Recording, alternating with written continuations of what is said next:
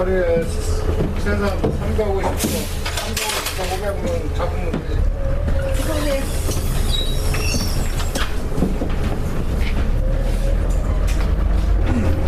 내면 하루에 항상 네 번씩이에요. 일요일 날 하루 쉬고 월요일부터 토요일날까지. 이번 정류장은 세석호입니다.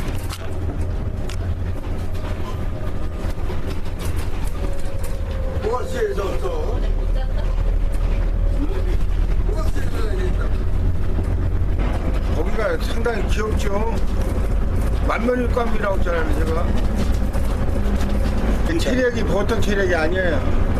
막 손님들 그 아는 일이고 오번 일이고 할 때 손님들 물건 같은 거다 실어 풀어주고 실어주고 할 때 그때는 안 실었고 일단 오후에 참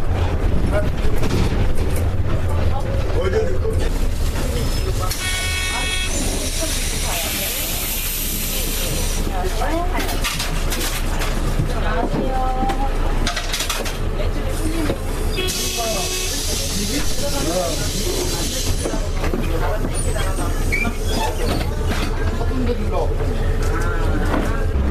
마음처럼 흔들다니는 것보다 손님들한테는 편치고 손님들 손님들 노인분들이 일부러 제 시간대를 알기 때문에 거의 다 제 시간대에 나와서 기다리고 계세요.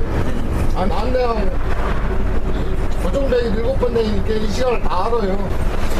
그러니까 항상 이 시간을 알기 때문에 노인분들이 침이나 뭐 있고 불편하신 분들은 꼭 이 차를 이용하죠